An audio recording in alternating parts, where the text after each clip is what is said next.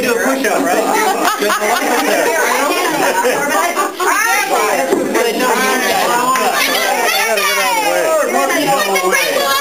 You're going